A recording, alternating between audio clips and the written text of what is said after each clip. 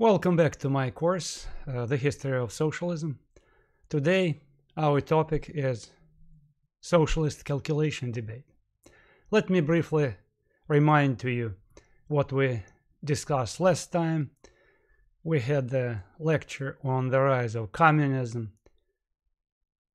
the movement and the intellectual trend that became possible because of the radicalization of the entire life of Europe, North America, and the rest of the world.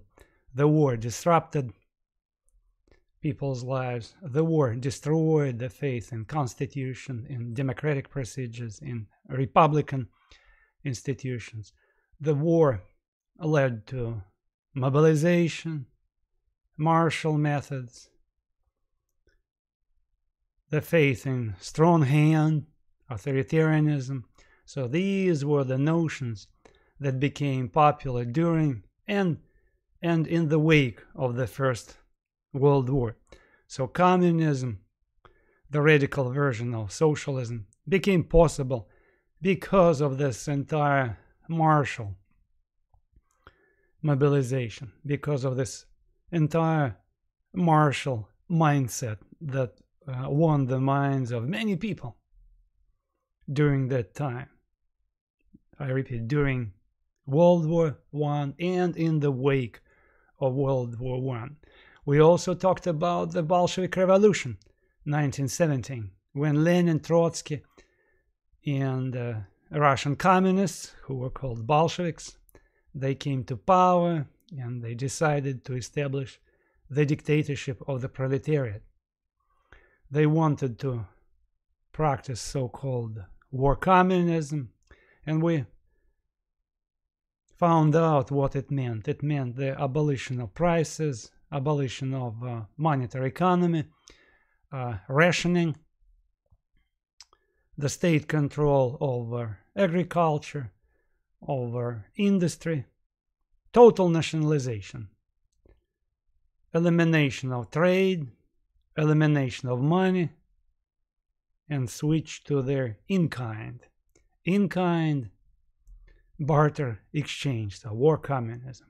We also realized that how disastrous were the economic results of this war communism system, which became clear by 1921. We also stressed that it was not only the war which amplified this authoritarianism, martial methods, mobilization. It was, it, it, it was also something that had been injected from the very beginning in the socialist thought collective. This desire for centralized planning, the desire to plant in charge of society, so-called enlightened masters, managers who would navigate society to the greater future, who would plan economy down to each minuscule detail. Okay. Today we are going to talk about those few people who tried to challenge this dominant mindset, authoritarian martial mindset we are going to mention a few names of those people who were very unpopular in 1920s 1930s but who did try to question not only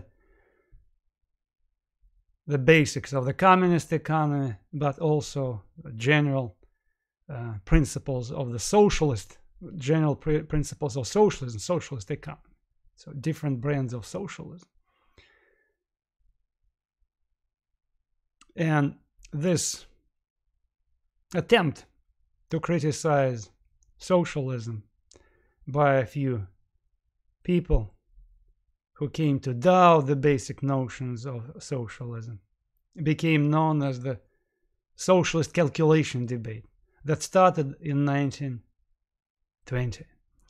But before we do this, let me uh, briefly outline to you again the entire environment. We, we need to put this thing in the context. And in fact, the reason I reminded to you what we did last time again to bring to our discussion the whole historical context. Okay.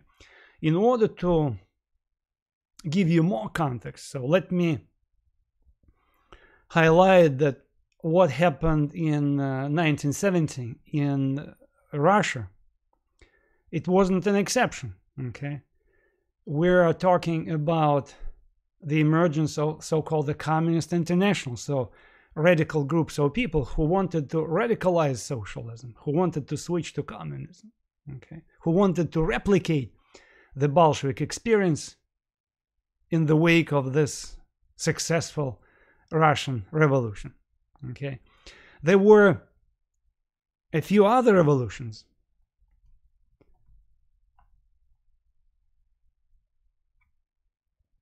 From 1917 to 1923, there were several attempts in Europe to replicate what Bolsheviks did in Russia. The first was Germany, of course. Germany was the cradle of socialism, of, of the organized socialism. Remember, we mentioned this. In Germany in 1918, when the country was on the brink of the collapse, remember the so-called allies, it's France, England, and the United States, they imposed uh, peace agreement on Germany, blamed this country in uh, initiating World War One, although Germany was not the only one that was responsible. And eventually, Germany uh, was bullied and had to sign this uh, very une unequal peace agreement with the three Western countries: U.S., uh, England, and France. And in this turmoil when Germany was collapsing, 1918, 1919, there were radical left elements who became fascinated with the Russian Revolution, who wanted to repeat the same experience. So we have revolts in Berlin, in other parts of the country, workers, sailors, some troops against the regime uh, in an attempt to bring up the communist revolution. Okay. And soon this revolution failed. Even though the Socialist Democratic Party of Germany became split in two parts, the radical element, okay, radical element, which was headed by, by the way, by Rosa Luxemburg and her uh, friend uh, Karl Liebknecht. Remember we talked about Rosa Luxemburg, this uh, cosmopolitan firebrand, Polish, Jewish, Russian, German, cosmopolitan that um, uh, advocate, advocated uh, spontaneous uh, working class revolt. Okay, so she uh, was one of these uh, people who were in charge of this German Revolution. Okay, but it was doomed. It was an abortive revolution. Soon these spontaneous revolts were put down and people actually who put down these revolutions were social democrats. Social democrats. So the mainstream social democrats who didn't want barricades, who didn't want uh, violence, so they denounced the left wing of their own party, which split away. Okay, this split away faction became known as independent social democrats, and later, by the way, out of this independent social democratic faction, a communist party of Germany emerged in 1990. Okay, so we have these two elements: independent socialist, socialist democratic party and the emerging communist party bending together rosa luxemburg karl liebknecht trying to bring up communist revolution in germany and they failed because their comrades who were against the socialist revolution, who were, didn't want to replicate the Bolshevik experience, who defended this Bernstein way. Remember, we talked about Edward Bernstein. So we need this peaceful transition to socialism. We need to switch to socialism um, by by ballot box, okay, in a slow and a gradual mode. So that's what frequently they do not mention. in history books. So it wasn't some kind of fascistic force that uh, became united against this uh, communist revolution in Germany in 1918 1919. It was the socialist, moderate social democrats. And ironically, these more moderate social democrats were headed by a man uh, named Noske. This Noske, the last name, was a worker, proletarian. Unlike those people who were in charge of Communist Party and uh, Independent Socialist Democratic Party that promoted the communist revolution. That's the irony of the situation. Okay, so eventually, this Noske, this guy Noske, who was um, who was against the communist revolution, he mobilized the war veterans, so-called Freikorps, and sent them against these, let's call them German Bolsheviks. Although I repeat, not all German communists radicals agreed with Bolsheviks. Rosa Luxemburg, for instance, she was against this uh, vanguard Communist Party,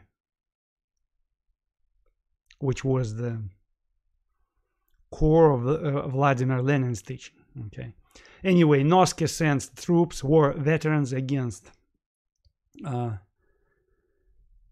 radical comrades, put them down, and in fact, hundreds of um, communists, radical socialists were executed. Again, it was violence on both sides.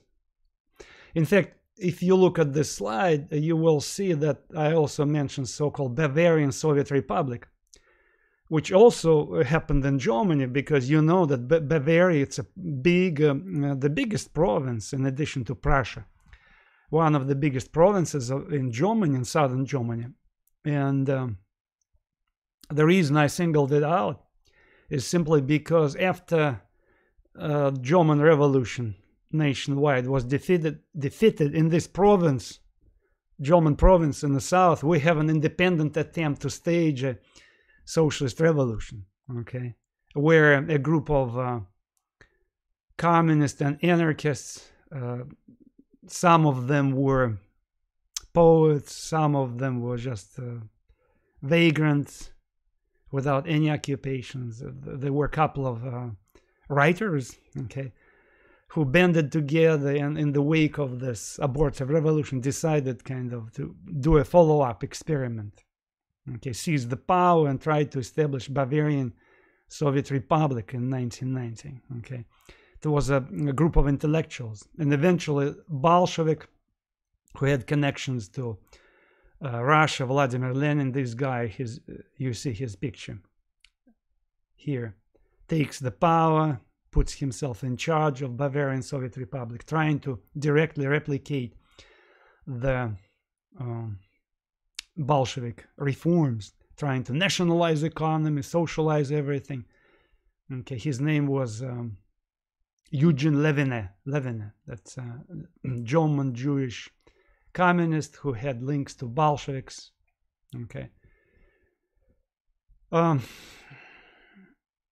this republic also failed because, again, social democrats, this moderate social democrats, sent the army, that war veterans. The army actually collapsed. It was just the war war veterans, which had been which were mobilized by the mainstream social democrats to put down these uh, wild um, anarchists. Okay.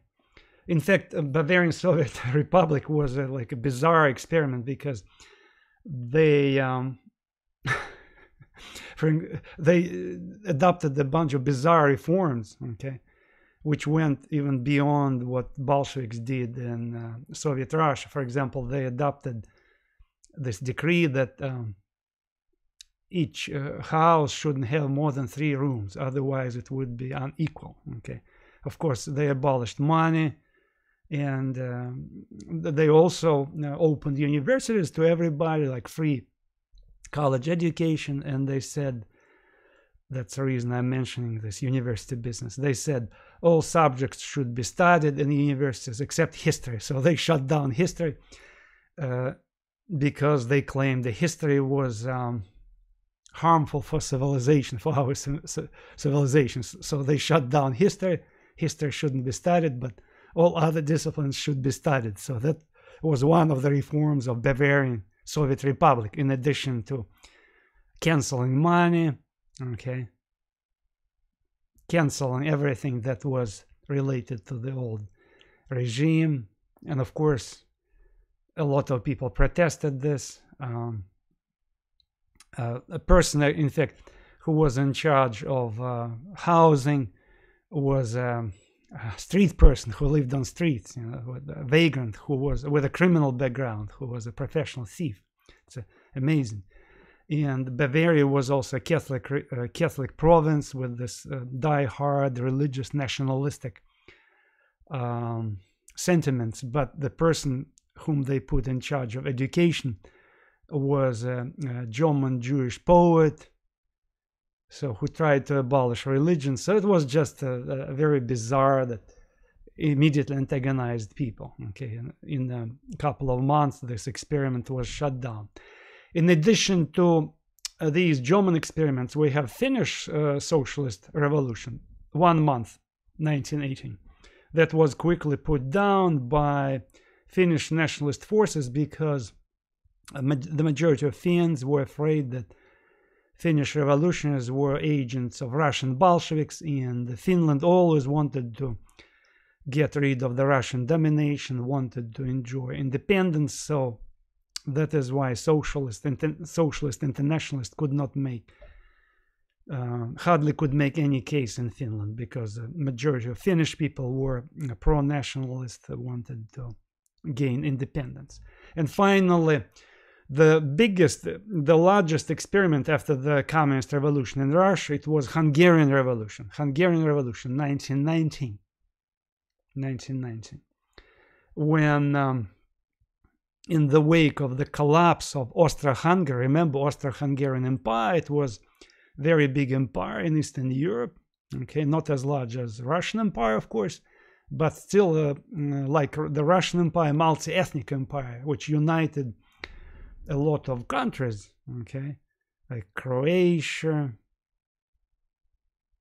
Slovenia, Hungary, Romania, Austria, so the bunch of different nationalities. So this uh, structure collapsed, Austro-Hungarian Empire, and in the wake of this collapse, because of this radicaliza radicalization, we have um, Hungarian socialist radicals coming to power, inspired by the Bolsheviks.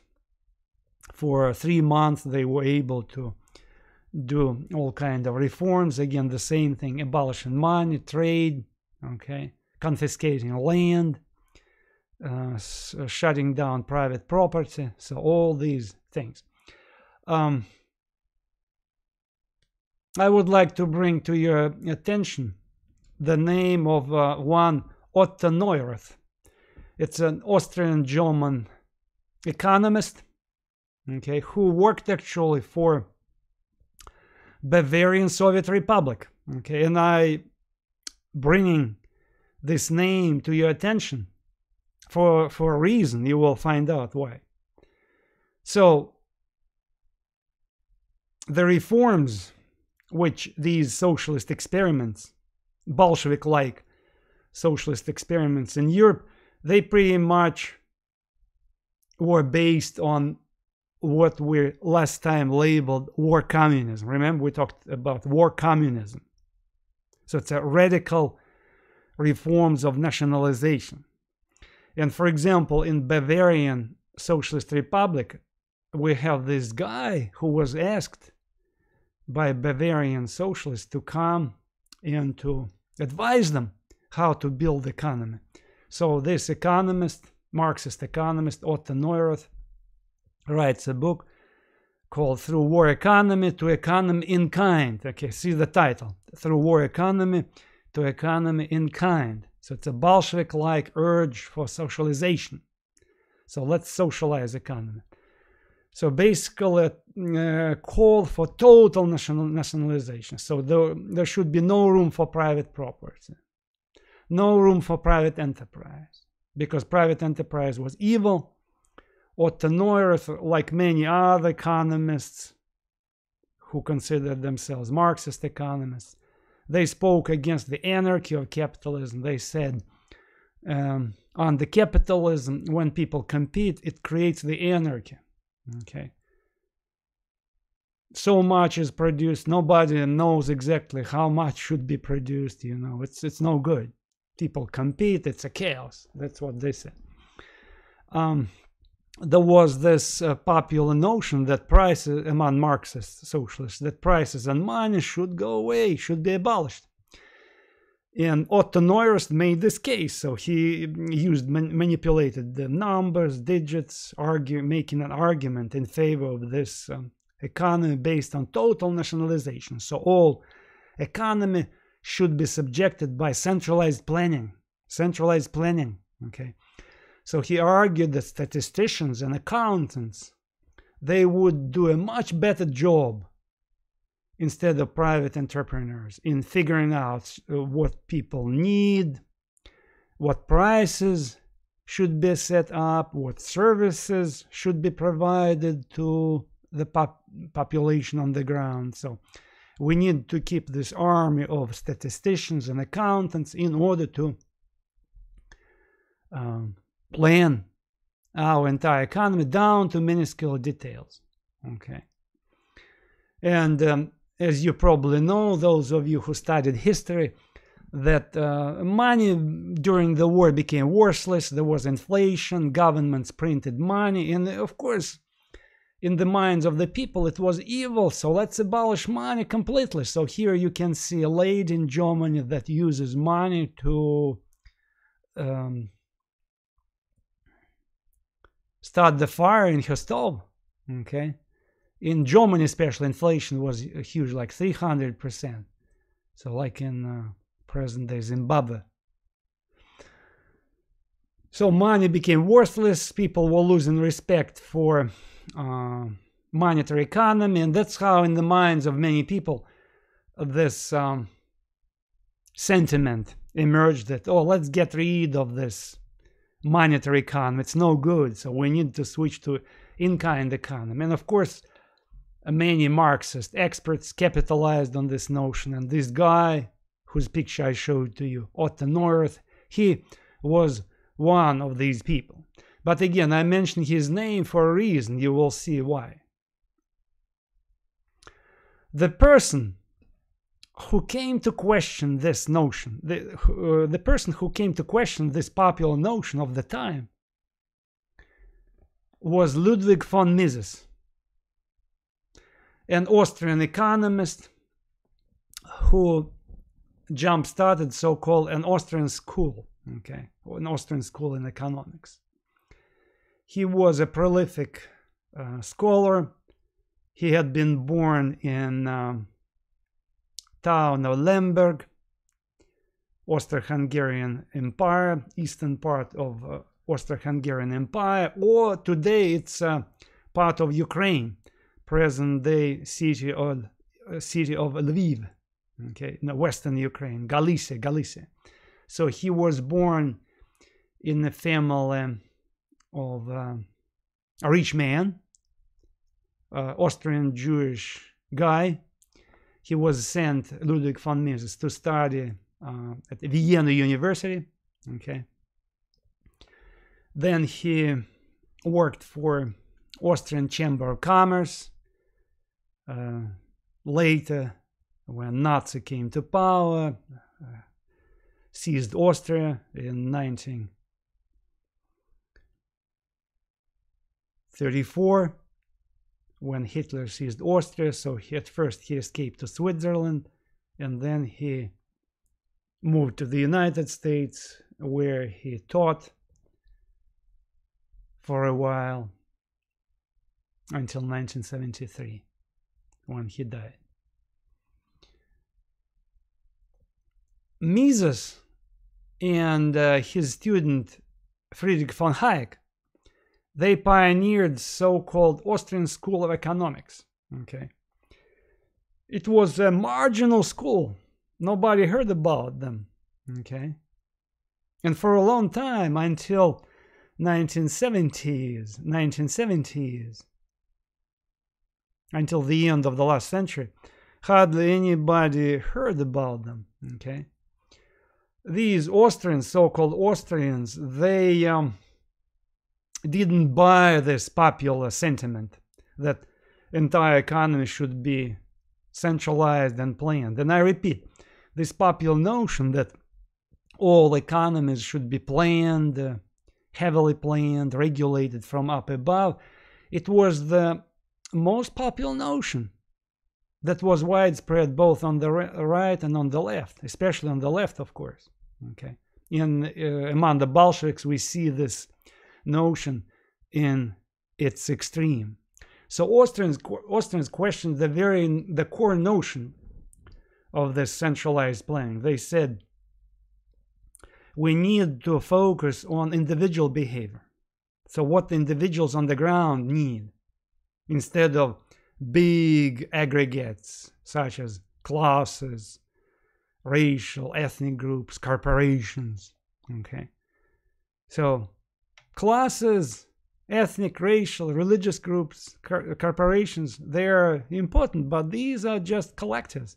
And these collectives have, have individual people, people with their individual interests, with the individual aspirations. So that's what we need to take into consideration. Okay. Um, Ludwig von Mises and Austrians, they think that competition leads to natural quote unquote planning from down below, decentralized, natural, social planning. Uh, Mises and Hayek,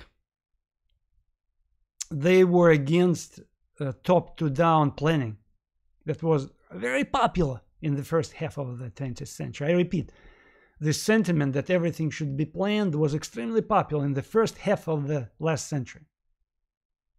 Austrians were very marginal, unpopular until the 1970s. By the way, uh, Hayek, Friedrich Hayek,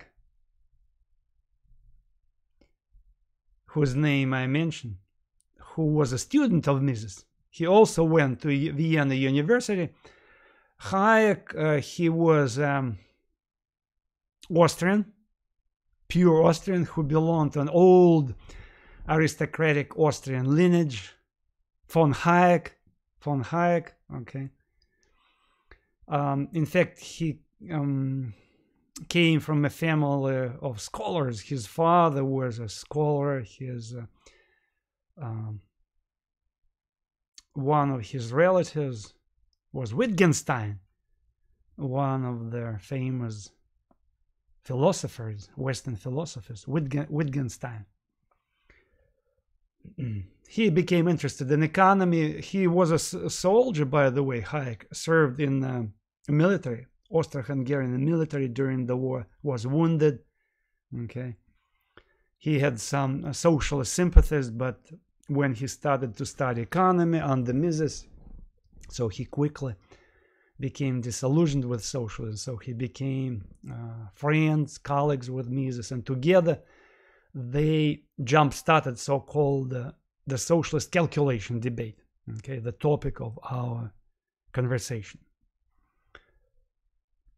So mises was exposed to that book written by this guy otto neurath okay? He, he reads the book. He lives through this book through war economy to economy in kind. Okay i give you this english translation but of course, it was published in German. So Mises reads this book, and this book um, appeared to him so ridiculous. So his uh, whole project that we need to abolish money, we need to switch to in-kind economy, so uh, total equity, everybody should be equal, equal outcomes, okay, equal outcomes, that statisticians and accountants should be in charge. So it looked to him so ridiculous to Mises. So he decided to write an essay. He writes an essay that became famous and um, in 1970s 1980s i'm jumping ahead here when uh, communism and socialism in general started to crumble in many countries a lot of people became interested in this work. I repeat, before, hardly anybody had been interested in the views of Ludwig von Mises. But when socialist economies started to collapse, crumble in 1970s, 80s, 90s, last century, so many people became interested in this work. And the title of this work, I gave you to read this work. You can go by the link I gave you and read this work. It's a very short work, uh, very easy to grasp. The title is Economic Calculation in the Socialist Commonwealth, 1920. Okay. So basically, the major question Mises posed in this work was Can the state organize economic production better than the market? The essential question. And of course, um, 90% of people, especially intellectuals, in his uh, time responded in a positive way to this question. Yes, the state can and should, must organize economic production, and it, the state does it much better than the market. Okay. Mises challenged socialists. He said, Please explain how precisely your system should work. That's what many socialists avoided. Okay, they avoided to answer this question. They said, hey, everything should be planned, prices should be set by the state, but they didn't want to go into details. And this debate actually continued um, through 1930s and even uh, in 1940s. Okay.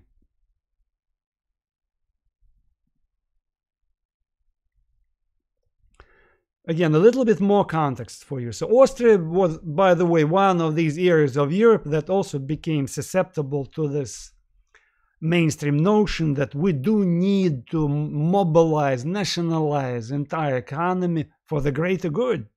Okay? We need to abolish money, we need to ration, and that's what would help.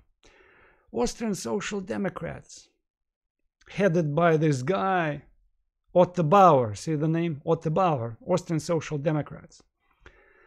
They did not exactly love what Bolsheviks were doing in Russia, like the dictatorship, everything, but they liked economic reforms of Bolsheviks. So we need to shut down private companies. We do need monopolize entire economy we need to plan economy by the state okay? Social democrats in austria said yes bolsheviks uh, used the red terror they didn't allow freedom of press. This is not good so we're not going to accept this. But they were in a total agreement austrian social democrats moderates. They were in a total agreement with the economic methods of the bolsheviks. They also wanted nationalization okay? Because it was the mainstream notion the mainstream notion. But ironically ludwig von mises was friends with otto bauer. No, earlier they were friends in college years. So he worked for uh, vienna chamber of commerce. So he comes to otto bauer this the major voice major socialist voice in Austria in 1919, who wanted to, who was about to um, shut down private enterprise in Austria. And he talks with him for the whole night. And he uses all his influence to convince him don't do it. Do not shut down private enterprise. Do not shut down the monetary economy. Okay. And Otto Bauer listen to his friend. At least he decided not to do it at this point. Okay. And that's what, by the way, allowed Austria to survive for a while. Okay. Because um, market economy was not eliminated. There were elements of market that survived in Austria. 1919, 1920, and 1921. And that's what allowed Austria to persist. Otherwise, it would have been like Bolshevik Russia, where the famine, production would have stopped.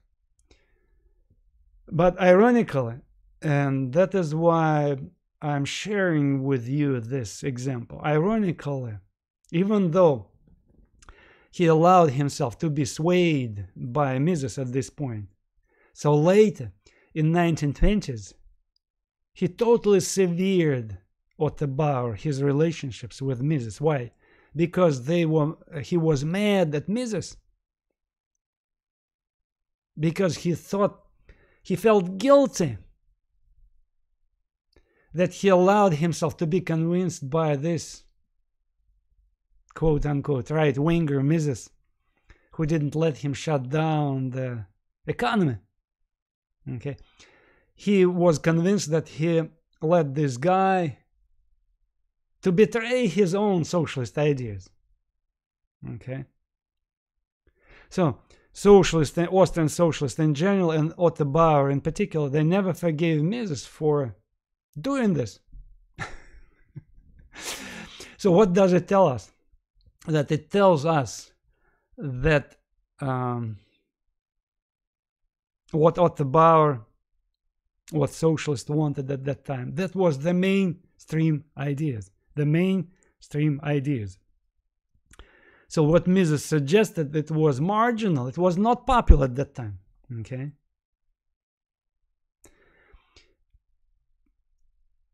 Again, again, and again throughout this presentation, I uh, will return to this notion that we need to take into consideration so-called the spirit of the time, the spirit of the time, what Germans called by this expression Zeitgeist. So Zeit, time, Geist, ghost or spirit. So Zeitgeist, the spirit of the time. So the spirit of the time was centralized planning, nationalization, even though some people realized that it could harm economy.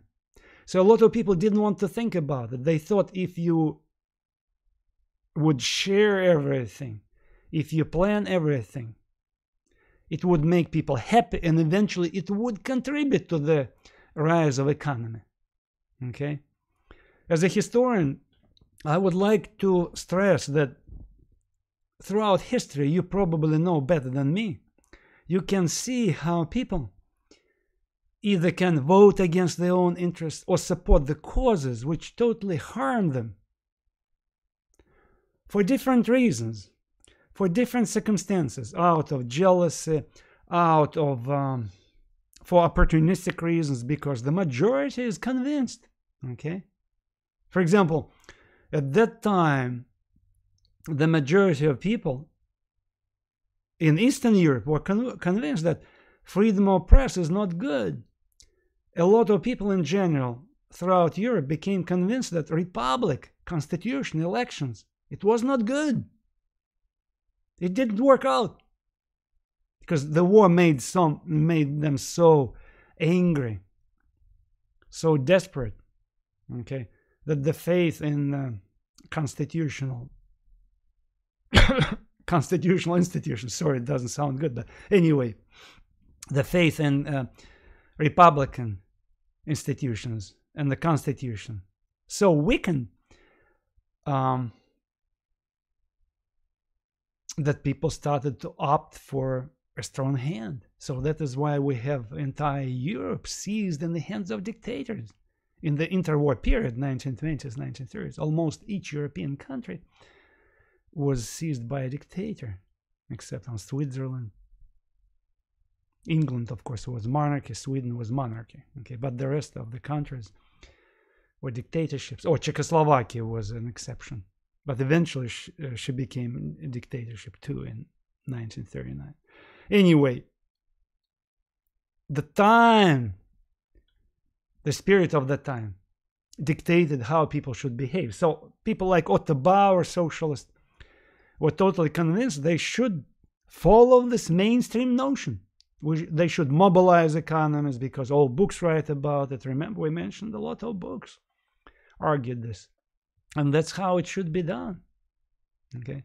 And you can find the examples of these uh, sentiments which people support, harmful sentiments throughout history. Even right now, for instance, if you look in our American scene, you may see that uh, some groups of people support uh, causes or sentiments uh, which, uh, if you look deeply into them, they totally harm interests of the people. But those people who support them, they're sincerely convinced that it it works to benefit people. Okay, that's the whole thing. Reason I emphasize it is that I'm against, as a historian, uh, against this notion that um,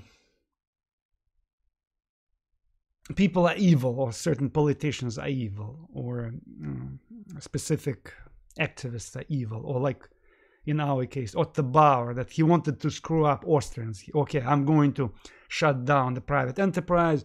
I'm going to nationalize the entire economy. I'm going to ration food because I'm such an evil person. Okay, no, no. He was a totally sincere man who wanted to improve the living conditions of Austrians. Okay, but he was driven by these popular notions that we need to totally transform, to change entire country in order to improve living conditions of the people. Okay, so he believed he was a true believer, and that is why he was so upset that he allowed this guy Mises to convince him, at least for a while, not to shut down mm, private enterprise economy in Austria. That he didn't allow for a while, at least, to cancel money in Austria. Okay. What Mises argued, okay, now going back to Mises and his work, the socialist calculation in the uh, economic calculation in the socialist commonwealth. Mises argued that socialism was impossible because it disregarded real prices. He stressed that it was impossible to calculate millions of prices and take into consideration millions of consumer needs because all of us, millions of people, we are in human individuals with our own minds with our own emotions, with our own sentiments. Even though, um, let's say, proletarians, working class people, belong to the same class, okay? Or some manufacturers belong to the same class. Still, they're very different people. In fact, among manufacturers, we might have a rich guy who might sympathize with socialists, or among working class people, we have some kind of uh, um, segment of people who want to live a life of a bourgeois. Or um, some workers might dream about having like a, a small um, house in the countryside who wants to quit his work. Or some people don't like to buy certain things you know they have particular needs you know who like to wear particular clothing who like to eat particular food okay so um, you cannot calculate millions of uh, prices in millions of consumer needs. Okay. He argued that if you try to do it on a grand scale to introduce the centralized planning down to a, to a minuscule detail, what you what you would get, you will get so-called planned chaos. So it's uh, expression belongs to Mises. He said those countries which introduce total planning from up above trying to plan everything and everywhere. From sea to shining sea like in, uh, in the case of russia. From baltic sea to pacific ocean everything was planned. Okay. So what do you get? You get planned chaos. Chaos. Um, resources cannot be allocated uh, productively where if you uh, set up prices, if you enforce prices, so capital goods, machines, plants, okay, capital goods. If you set prices for these things, so like for big giant plants, for uh, particular machines, assembly lines, tractors, you cannot allocate them productively because in, in, including other resources any kind of resource, if you try to set in stone its price, you will not allowed to allocate this resource productively. Okay, which means if, for instance, um, I set a particular price for a tractor, let's say lower than a market price, so soon we will have no tractors because they will be sold and there will there wouldn't be enough of them. Okay, but if you allow market to decide the price for tractors, or for shoes, for instance, like shoes, the one of the best examples. Okay, for example, if you set prices for shoes below the market value, you will see no shoes in stores. Okay, because people will would buy them and might end up in the black market. But if you allow market to set the prices organically, spontaneously, so what you will see, you will see the shoes in in in the in the stores, in regular stores, because the market would decide the price of the shoes. Um, Mises argued that, um, and of course he looked at the Soviet Russia because Soviet Russia was the only country where socialism, quote unquote, succeeded. At least the regime was established that claimed to build socialism, right? Because in other countries it failed. In Hungary, in Hungary, by the way, where socialism existed for three months, it was eventually squashed by Romanian troops um, who invaded Hungary. Okay, so only Bolshevik Russia could serve as a blueprint of the socialist economy. Okay, so Mises looked at the Bolsheviks, what they did, and he said, look, the state owned companies firms, enterprises. The state imposes quotas on how much should be produced shoes, pencils, tractors. The state chooses managers. And normally these man managers were members of the Communist Party, Bolsheviks. The state statistics agency collects data on inputs and outputs. And the state planning board or agency sets the prices based on what? On state goals.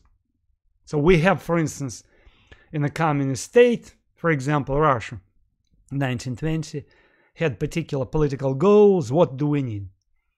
We need to build factories. Okay.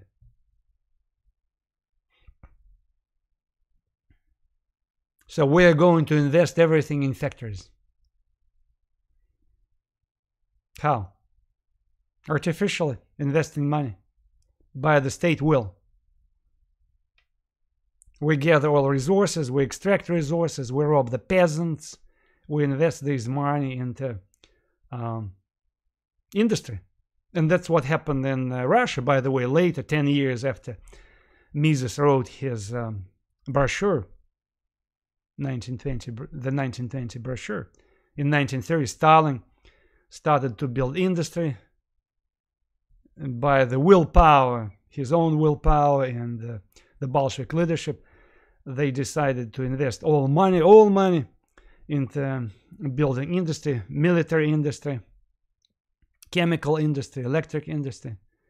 By doing what? By robbing peasants, extracting resource, resources from peasants, robbing them, imposing quarter quotas on peasants, forcing peasants to deliver grain, okay, as much as possible, and as a result of this confiscation campaign, uh, uh, more than 5 million peasants in Russia, Ukraine died were sacrificed for the Industrial Revolution because by the willpower, the government decided to allocate resources to extract resources from agriculture, invest them into industry. Okay, instead of allowing natural peasants on the ground expand their agriculture, Bolsheviks. Remember, Bolsheviks under NEP, they didn't allow peasants to spread their wings. They put the caps on how much labor they should hire, how much they should uh, deliver to the market, how much they should deliver to state coffers, how much taxes they should pay. So agriculture was heavily regulated. But the point here is that Mises said, the state did not allow market to allocate resources in a natural, organic way.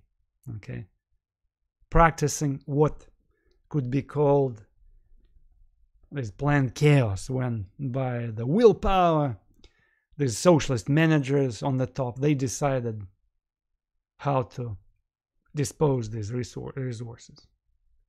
In fact, you can see here um, a cartoon. It, by the way, it's a cartoon from a German Social Democratic magazine. Stalin sitting in front of uh, cover, drowned in the paperwork, sitting and watching on the chart that shows how socialist economy supposedly should develop. You know, that kind of uh, a very revealing cartoon that shows how socialist bureaucrats were literally drowned, drowned in papers, okay, because they wanted to calculate everything. See, it's another interesting part of socialist economy where they want to have uh, the army of statisticians and accountants to calculate the prices on the ground, to calculate how much, how many resources they should allocate to this branch of economy or to that branch of economy which gives rise to huge bureaucracy. That's what Russia became a huge bureaucratic state. Huge bureaucratic state. So the resources were allocated on the basis uh, of feel and intuition. Lenin and later Stalin created enormous bureaucracy, uh, command and control bureaucracy, because they aspired to plan everything. I repeat, down to a minuscule detail. In fact, um, Stalin literally was moaning, so complaining, trying to get rid of this paper trail, which was forced on him by his subordinates because Russian state was heavily centralized, communist state was heavily centralized, like a ver vertical, vertical structure. And I'm sorry, bureaucrats down below were afraid to take an initiative so they delegated responsibility to high the, those bureaucrats who, who were high above them, and the high aboves were also afraid to take responsibility. They all, all always wanted to um, be approved by higher bureaucrats. It's like take like for instance a university, any university, or take like VA. Um, Veterans Administration, VA hospitals. That's how it's done because each small bureaucrat in these uh, places, which can be called the pockets of socialism, the bureaucrats afraid to take responsibility and they delegate, at least share the signatures, share responsibility with other bureaucrats um, on the same level or with especially those bureaucrats who are high above them, okay? In order to avoid responsibility in case something goes wrong, okay? Because they are not interested, you know, bureaucrats either are not interested at all or little interested in uh, what's going on uh, on the ground. They are more interested in securing their their own positions, salaries. Okay, so they wanted to protect the bots. Any bureaucrat wants to protect his or her bot. It's it's just the nature of bureaucracy.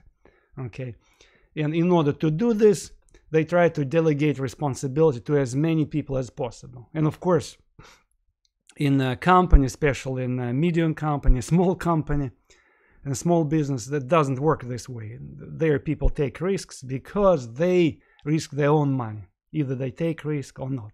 Okay, bureaucrats do not behave this way because they don't risk their own money. They risk their positions, so they want to secure their positions. Unlike private enter entrepreneur who wants to secure his or her income, her profit. Okay to secure his or her profit. Uh, in case of bureaucrats, they want to secure their income, stable income, and the position. Okay, see, very different notions. For example, in uh, his book, there's a best book on Stalinist economy uh, written by um, American economic historian. His name is Paul Paul Gregory. Paul Gregory, if you want, you can Google it. So he wrote uh, a book on Stalinist economy where he provides interesting facts. First, in archives, he found a bunch of documents that record complaints of Stalin to his subordinates. He said, Do not bring me this avalanche of papers. You know, I, I have no time to deal with them. For example, Stalin had to decide, Paul Gregory found in archives, the Stalin had to decide to buy an oil, oil tanker or not. So, which under normal circumstances should be done some uh, lower level bureaucrat. On one occasion, uh, he had to debate with his Politburo, Politburo, it's oligarchy that ruled the Soviet Union. They were sitting and debating should they sell 200 trucks to Mongolia or not. Again, should the steel pipes should be imported or produced domestically? It's a very trivial questions that had to be decided on the top of the pyramid by Stalin himself. So Mises argued that centralized planning was doomed to fail. So from the very beginning, as uh, as early as 1920, when the Bolshevik regime only existed for only for three years, he already concluded Mises, Ludwig von Mises, that centralized planning uh, was doomed because it was logically impossible.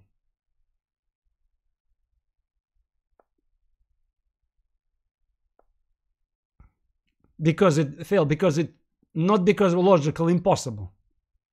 I'm sorry, but because it could not deal with self-interest of human beings. Okay.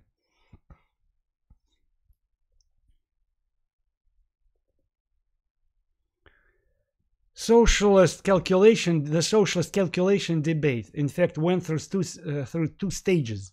During the first stage, we have Mises challenging these Bolshevik reforms and particularly um, projects suggested by this guy, Otto Neurath. Okay. Mises argued that socialist economy was impossible. Impossible because it could not deal with self-interest of human beings. But there was a second stage of this debate, the second, second stage in 1930s, when we have another guy coming to the picture, Oskar Lange, a Polish economist.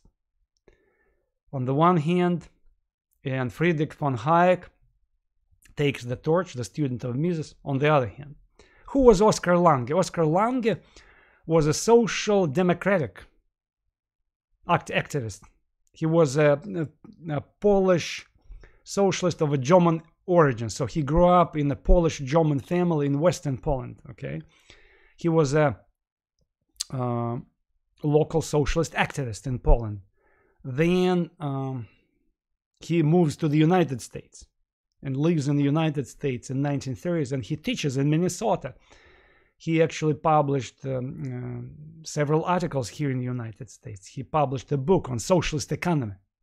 Okay.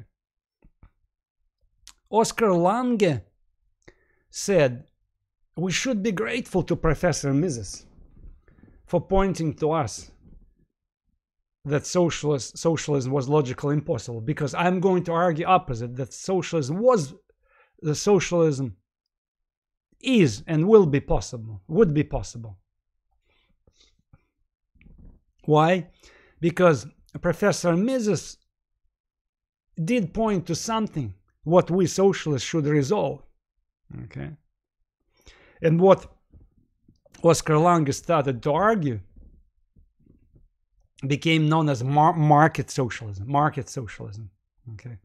Today, by the way, market socialism is the mainstream conviction of socialists. Okay, for example, in the United States, you heard about um, so-called democratic socialists, or if you go to Europe, uh, you can see um, Socialist Party of France, or if you go to UK, you will see uh, La the Labour Party, UK Labour Party, and Jeremy Corbyn.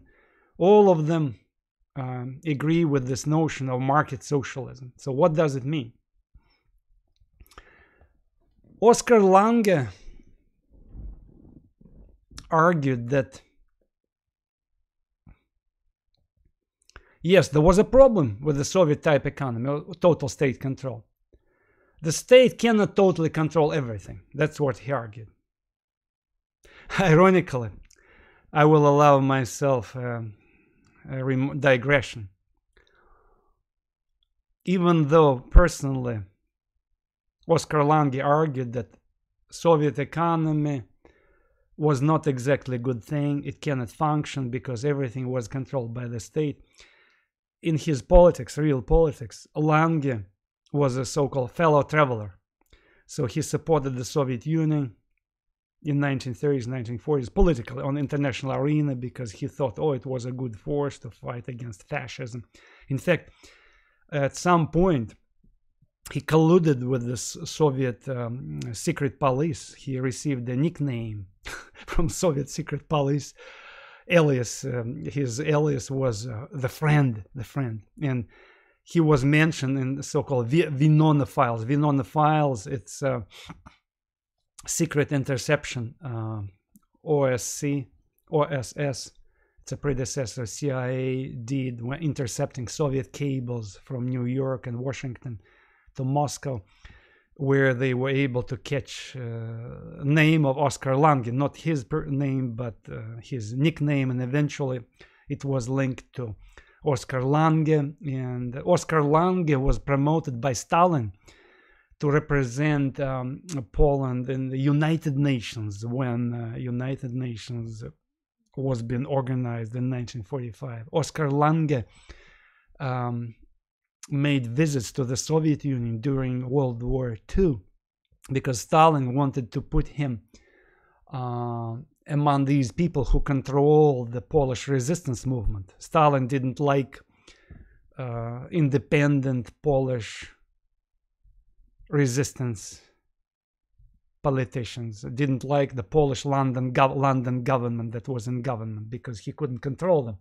But Oskar Lange, who lived in the United States, who had American citizenship, so he was a very convenient uh, figurehead to be in charge of this um, Polish resistance movement because uh, he was like a market socialist uh, living in the United States, but at the same time, he secretly worked for the Soviet Union. That is why he was a very convenient figure. And um, indeed, when uh, Stalin seized Poland in the wake of the Second World War, Oskar Lange quickly became one of the bosses of the communist regime in communist Poland in the wake of the Second World War. He was put literally in charge of the Polish economy. Okay, and even though in 1930s he made a case for market socialism by the sheer fact of being a loyal Soviet fellow traveler. So he had to promote Soviet style economy for Poland. So he defended centralized planning, total centralized planning, at least until 1956, the year when um, the cult of personality, Stalin's cult of personality, was exposed, and he switched back to his concept of market socialism. Anyway, so a few biographical remarks about Oskar Lange, a very interesting uh, character. So you can Google this name. Interesting man. Anyway, back to his argument, market socialism in 1930s, he made what he was convinced in. Okay. Even though I repeat later, he for reasons of political expediency, he had to support the Stalinist economy. But deep inside, he was convinced in market socialism. So let's see how he tried to debunk uh, Mises' argument. Oskar Lange said, yes, you're right. The Soviet economy, socialist economy in Soviet Union was dysfunctional. Why? Because everything was planned by the state. So what needs to be done what needs to be done?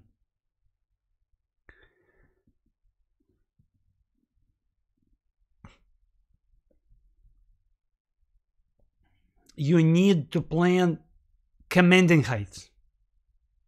You need to put the state in charge. In charge of so-called commanding heights. It means foreign trade major factories the big plants industrial plants okay banks banking sector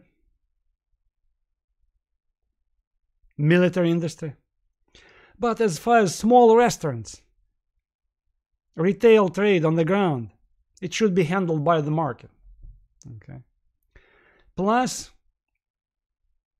what prevents you from establishing market relationships among governmental factories?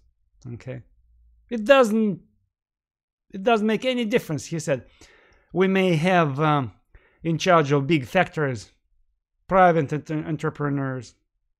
Let's say one shoe factory is um, headed by a private entrepreneur and another shoe factory is headed by another private entrepreneur. It doesn't make any difference if we put in charge, uh, if we confiscate this factory and the state would own this big factory and another big factory, shoe factory, also will be owned by the state. And the state would uh, appoint managers, socialist managers to navigate these factories, to manage the production in this factory. He said, what prevents these two state factories to compete with each other? That's what he argued. He said, we need to uh, create market, but um, it should be state-controlled market because all big factories would belong to the state and they would compete with each other. See, interesting argument. He said, yes, Professor Mises, you pointed something crucial. So you can, um, I agree with you, he said to Mises, that we cannot be um, in a situation when uh, enterprises don't compete with each other. But we can change the situation. So we still can uh, control all major factories. All major factories still can be controlled by the state. But if you allow to compete with each other, conclude agreements with each other, everything will be fine. It's like market, okay?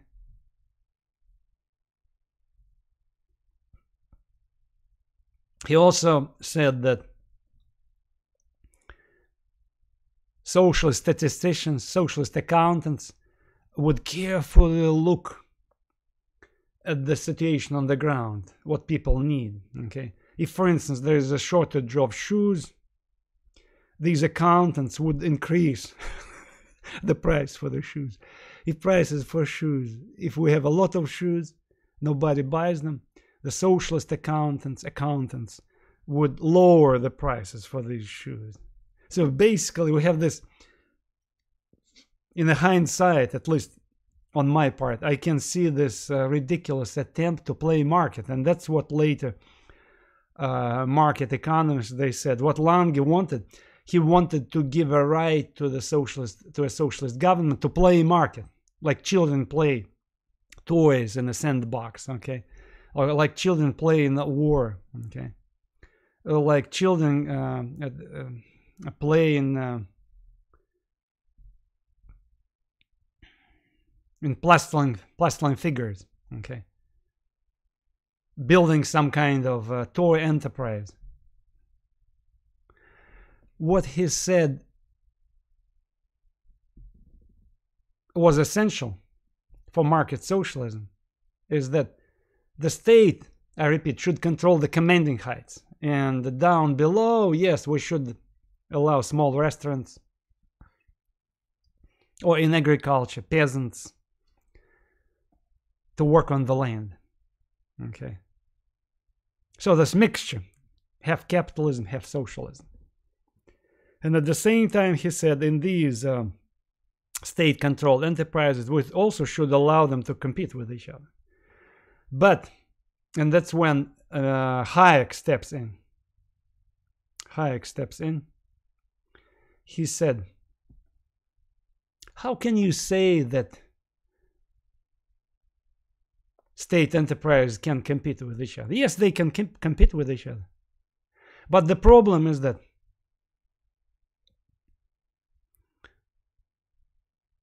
these socialist managers,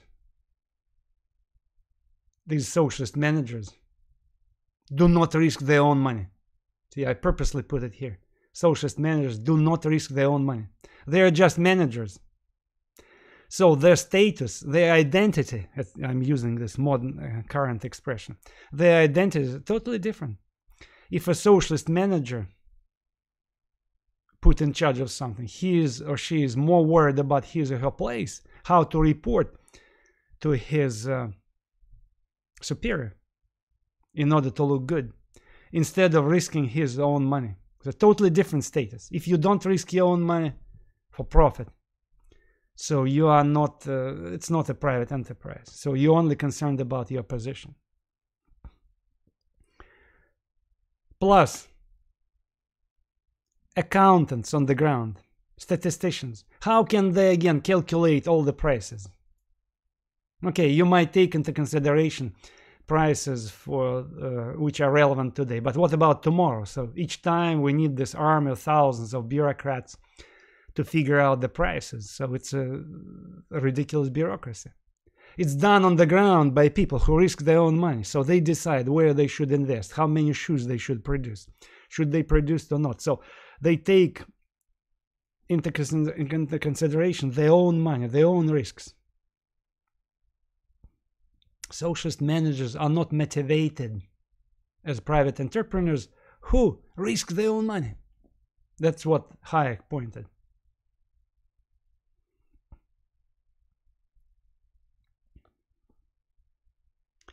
Hayek said that um, whether we like it or not, the markets do spontaneously coordinate the economy because, and he called this uh, tacit, tacit knowledge. So on the ground, uh, millions of deals, millions of responses on the part of small entrepreneurs, small businesses, restaurant owners, decides the prices by the word of mouth, by reading the news. You know, people on the ground decide are they afraid to invest into something or they should invest something? Should they buy stocks or they shouldn't? So, and it, you cannot control this process. It's a, practically impossible to control because what basically we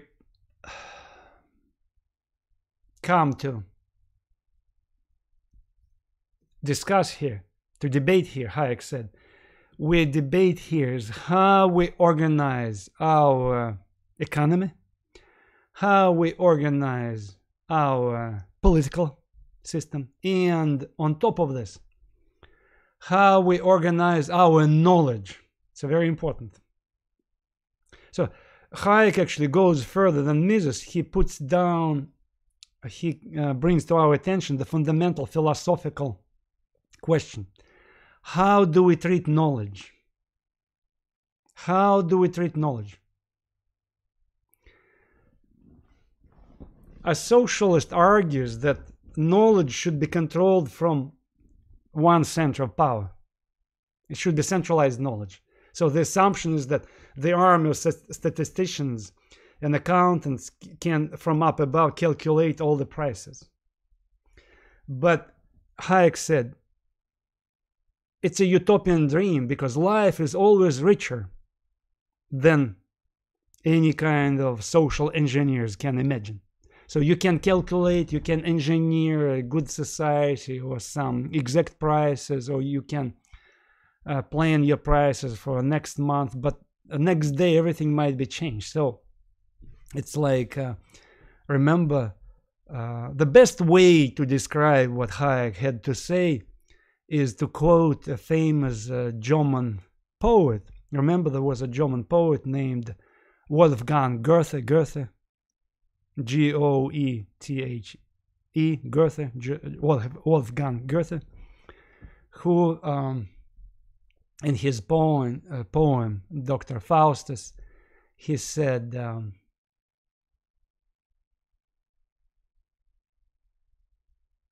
The theory is dry, my friend, but the tree of life is blossoming. Okay, so just to emphasize that you cannot control the life on the ground. You cannot control the prices on the ground. You cannot control people's emotions. You cannot control people's sentiments. You cannot control irrational desires of people to do something, to buy something. You know, sometimes entrepreneurs make irrational decisions. Okay, because life is life cannot be planned. That's what Hayek said. You cannot plan the life. The life is unpredictable.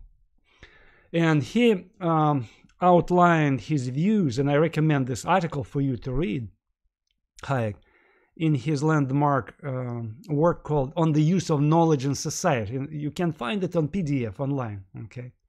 And he said, in those societies where knowledge is centralized, like the Soviet Union or Nazi Germany, National Socialist Germany,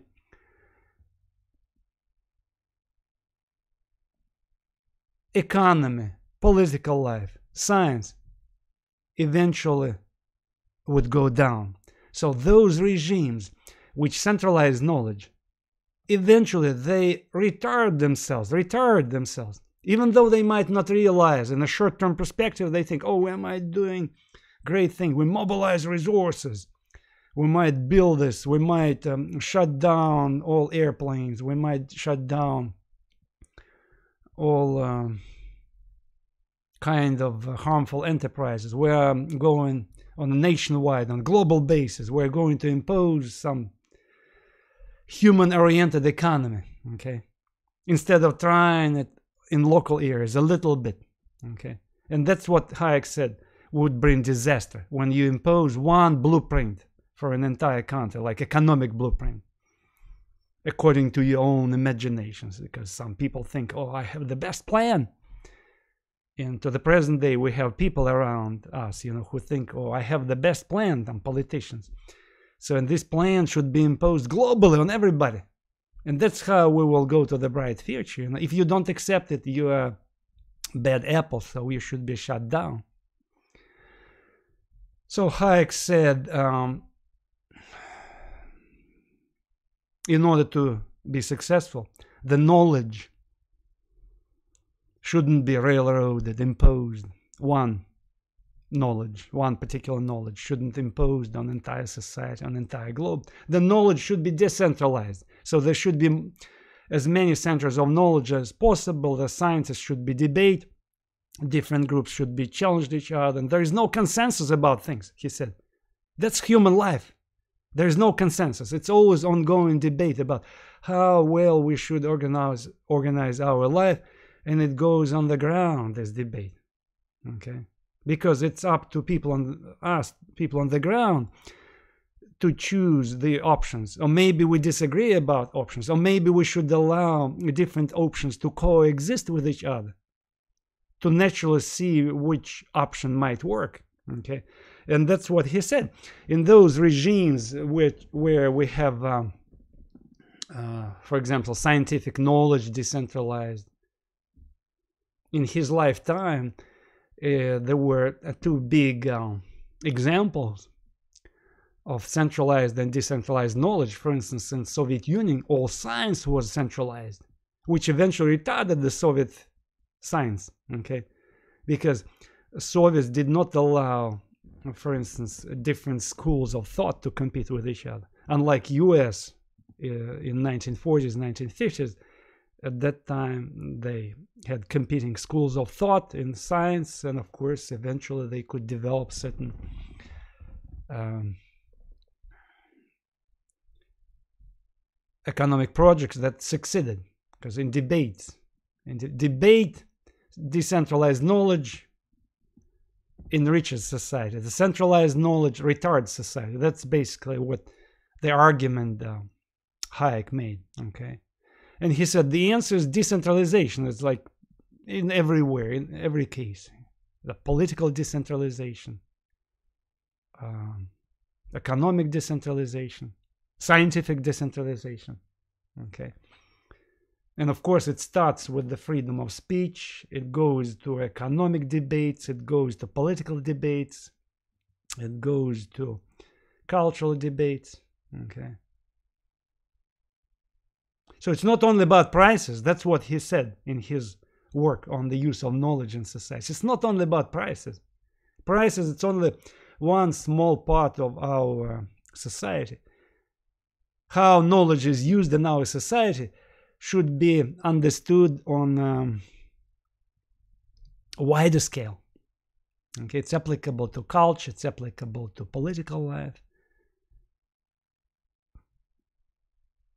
But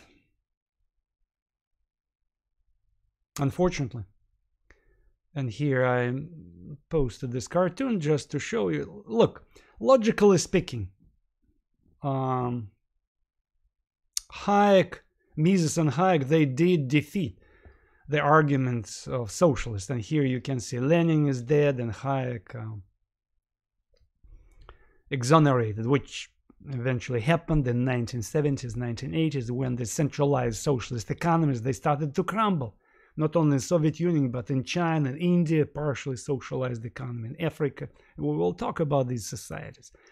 Uh, in UK, uh, 1950s, there was an attempt to introduce limited socialism. So they started to retard the economic development. But, and that's where it's important to bring to our attention one more time this zeitgeist, the spirit of the time. Mises and Hayek were defeated. De yes, defeated. Even they made a good case against the socialist um, reformers.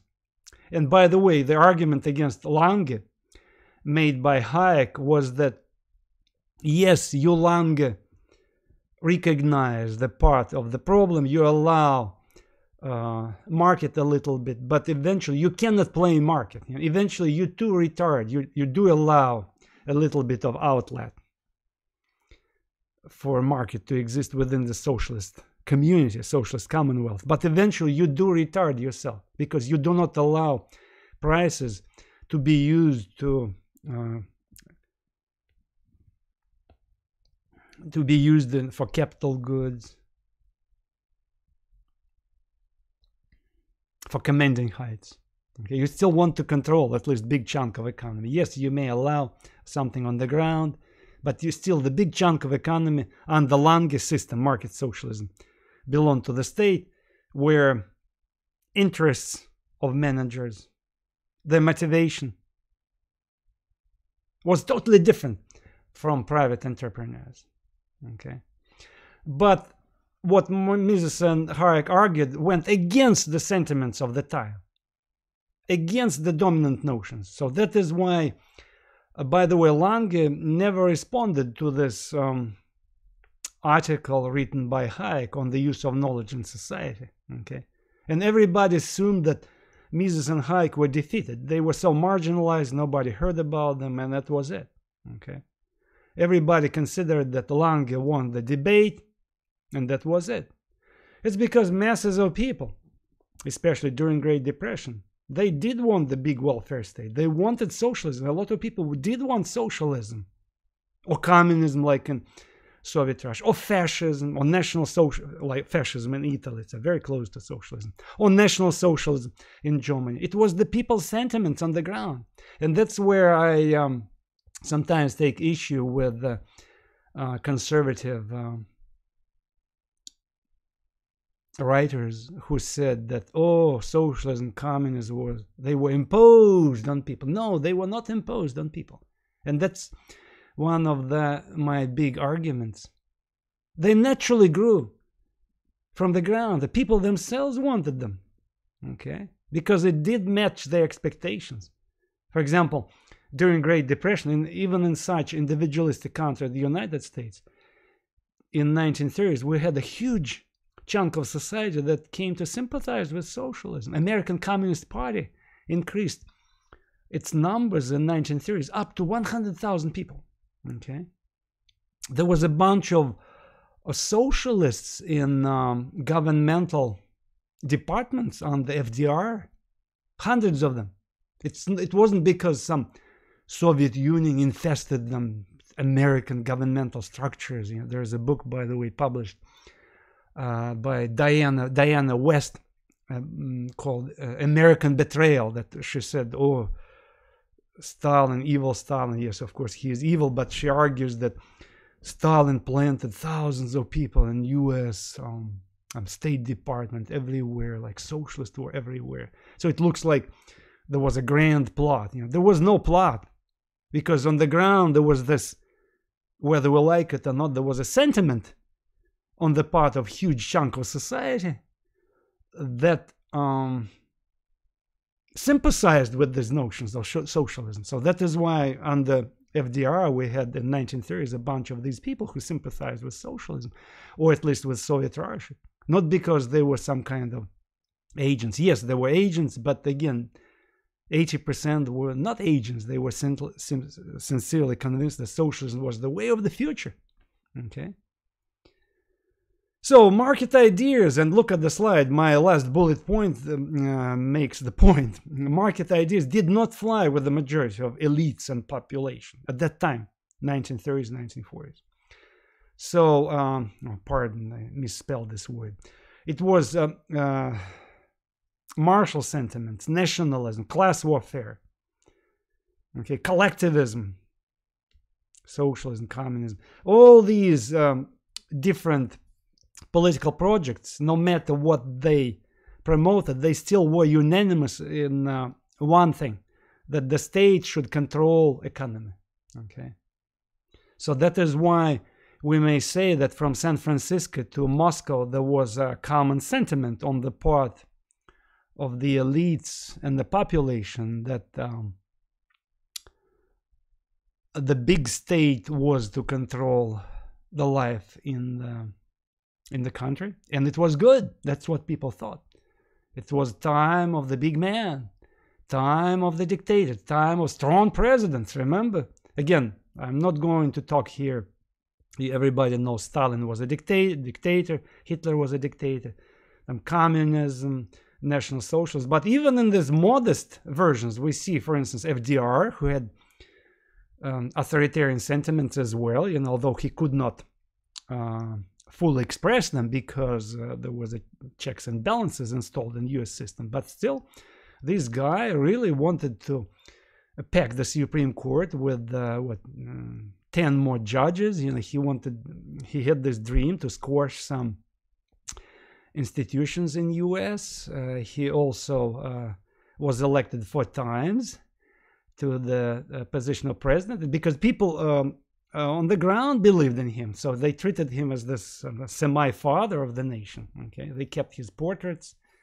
So there were some, I would say, um, modest authoritarian notions. Okay, of course it was not it cannot be compared with Stalin and Hitler, but still the time, it was the time of big states, big men, strong leaders, and um, it went against these notions of such marginal figures as Mises and Hayek, there were a few of them, because it was, it was the time when people were thinking big, when um, the majority of people in Europe sympathized with socialism, at least with different versions of socialism, not necessarily with communism, but sympathized with social democracy. Okay. And uh, on this note, I would like to end uh, my class today. Thank you for your attention, and I will see you next.